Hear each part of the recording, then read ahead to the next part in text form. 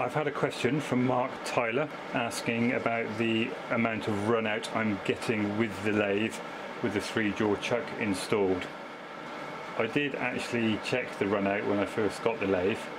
I didn't make a video of it and I don't believe I posted my results anywhere.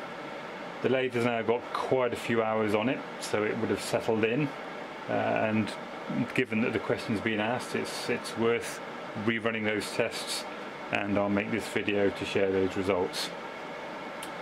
What I'll do is I'll, I will actually, before we put the chuck in place, we'll see what run out we're getting on the spindle, both in terms of the inside edge, sorry, the, the spindle bore, which is an MT4 uh, taper, and also the index, which is this face here, which is the indexing face for the chucks. A word or two of caution before we dive into taking any measurements.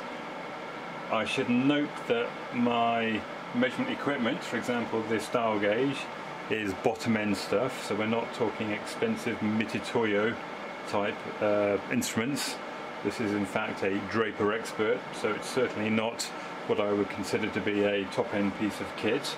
It's also quite old, I must have had it 15-20 years, um, and of course it is not calibrated. There is no calibration certificate to go against this.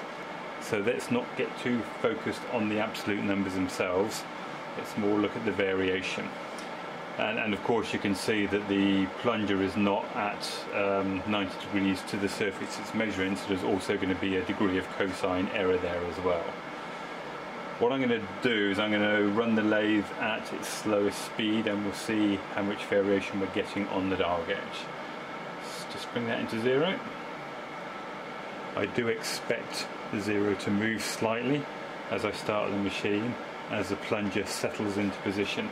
I'm round about 3 millimeters in from the edge of the MT4 taper.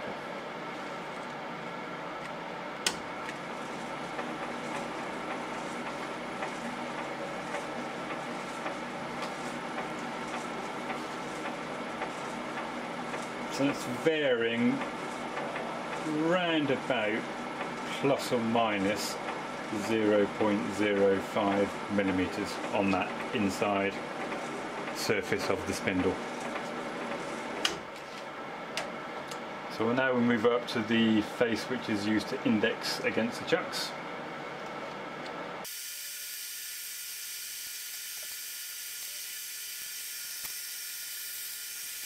Plunger is now against that uh, indexing edge on the back plate. I'm not going to adjust to zero, it's currently set at 0.04 millimeters.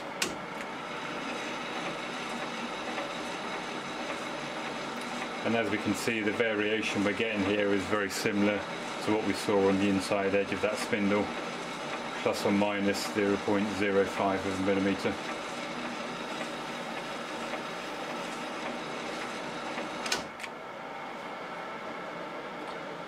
I don't think there's any point in running the gauge or running a test against the outside edge of the back plate.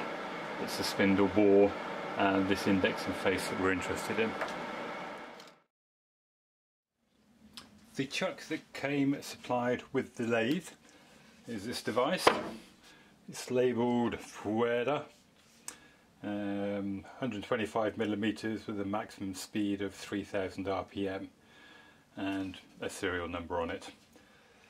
When it gets installed into the lathe there is this indexing face which fits against the indexing face of the back plate uh, and there is a, an alignment mark on the back plate, stamped to zero here, which aligns to, or should align to the zero that's stamped both on the chuck itself and the chuck back plate. Fitting chucks on this machine is a pain. I guess it's what comes with the style of lathe. You can see there's three studs. The studs locate through the three holes on the back plate and then nuts with washers need to be installed on the back which is very tight uh, and becomes real pain. Often when undoing them, the studs will come undone. You can see that one's loose. I need to nip that up before I put it back in.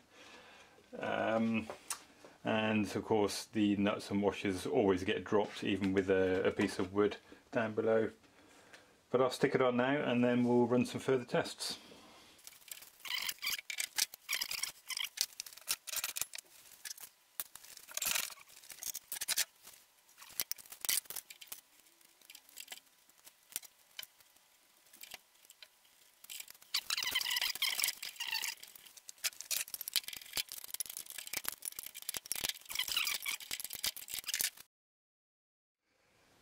to test with the chuck I'll actually use this test bar or test mandrel if you read the uh, text on the front there.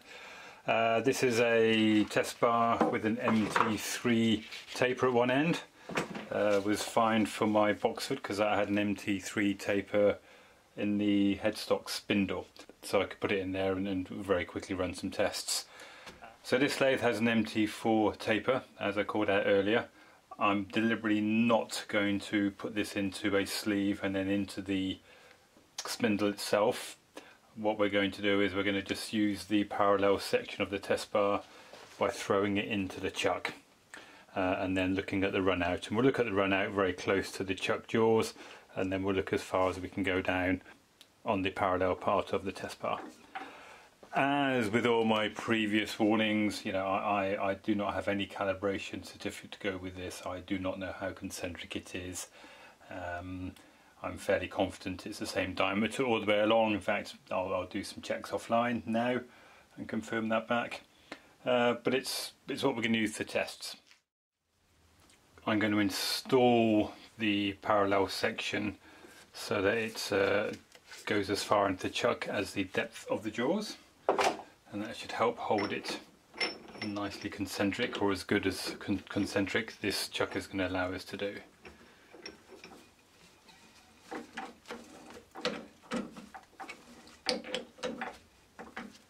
Right, okay.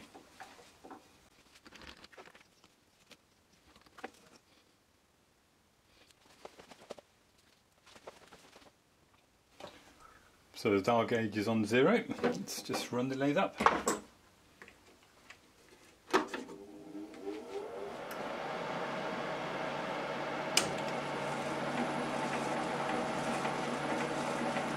I would say, as expected, we've got a fair bit of variation there. With the lathe running at this speed, it's running between 0.02 and 0.08 so giving us a run out of total run out of 0.06 but bear in mind all my cautious words at the beginning uh, about the accuracy of what we're doing here. Just out of interest I'm going to rotate that by hand. So that's the lowest reading was there. So it's going from 0.02 to 0.08 yeah so plus or minus 0.03 or total variation of 0.06 and if we move along